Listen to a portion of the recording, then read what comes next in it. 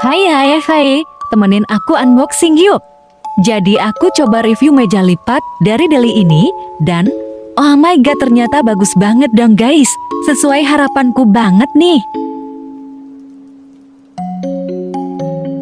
Kita juga dikasih lampu baca kecil, kipas angin kecil USB, dan kabel USB untuk listriknya ya. Nah, tampilannya seperti ini, cakep banget kualitasnya. Sekarang aku mau tes dulu ya, semoga berfungsi dengan baik. Yuk kita coba.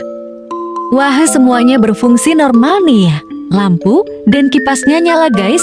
Aku seneng banget, keren banget mejanya nih. Yang mau samaan, link produk di kolom komentar ya.